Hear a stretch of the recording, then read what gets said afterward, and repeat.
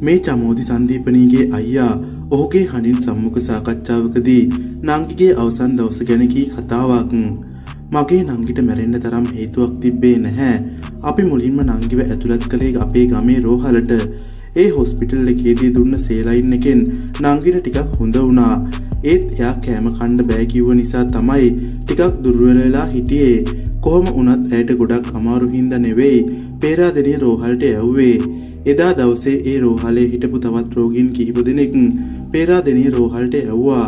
අපෙන් අහලා තමයි නංගිව පේරාදෙණියට යව්වේ. ඒත් නංගි මට කතා කළා මාත් එක්ක විහිළු කළා පේරාදෙණියට ගියාට පස්සෙත් නංගි මට කතා කරලා කිව්වේ මං හෙට ගෙදර එනවා කියලා. එහෙම කියපු මගේ නංගිට තමයි මෙහෙම වුනේ.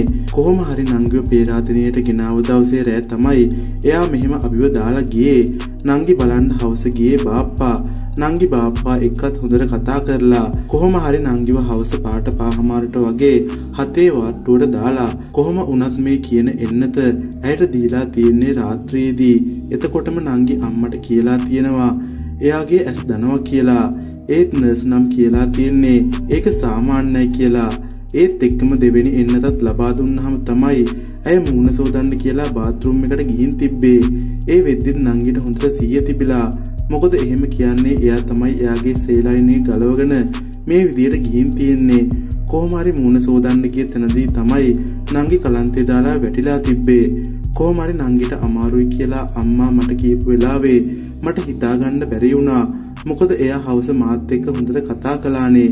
ඒත් මට ඒ වෙලාවේ කරන කියන දේ හිතාගන්න බැරි නිසා මං ගියේ බාප්පා එක්ක පේරාදෙණිය රෝහලේ ආරක්ෂක අංශවලට කියලා කොහොම හරි මම ඇතුළට ගියා.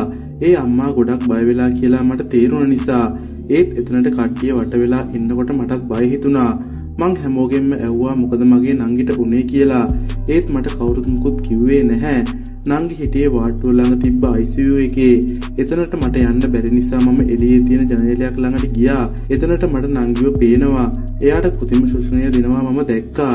ඒත් එක්කම එක වෙලාවක මේ හැම දෙයක්ම නතර කළා. මං හිතුවේ නංගිට සිහිය ඇවිත් කියලා. කොහොම වුණත් එතන හිටියේ පුහුණු වෙන වෛද්‍යවරු කියලා තමයි මට හිතුනේ. ඒත් එයාලා ගොඩක් උත්සාහ කළා මගේ නංගිට ජීවිතේ දෙන්න. කොහොම වුණත් එයා හොස්පිටල් එකේ ඇඳ උඩ ඉන්නවා මුලින්ම දැක්කේ මම. එයාගේ ඇස්වල කඳුළු වගේ කහපාට දියරයක් ඇවිල්ලා තිබ්බා. කටින් නහයෙන් ලේ ඇවිත් තිබ්බා. ඇඟ පුරාම නිල් වෙලා. ඇත්තටම මගේ නංගිට මොකද්ද මේ උනේ? ඒ ගැන අපිට තියෙන්නේ තවමත් සැකයක්. නංගි ගොඩක් ක්‍රියාශීලී කෙනෙක්. ඒත් එක්කම ක්‍රීඩාවට දක්ෂයි. මටත් වඩා ගොඩක් දේවල් පිළිවෙලට කරනවා එයා. මගේ නංගිට මැරෙන්න තරම් ලෙඩක් තිබ්බේ නැහැ. මේ චමෝදිගේ අයියා ඔහුගේ මතකය අවදි කළ ආකාරයයි